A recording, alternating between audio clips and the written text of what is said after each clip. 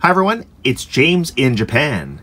You're looking at a tin can filled with small change. Unwanted change. Well, I do need the 500 yens, 100 yens, and 50 yens, but I don't need the 1 yens, 5 yens, and 10 yens.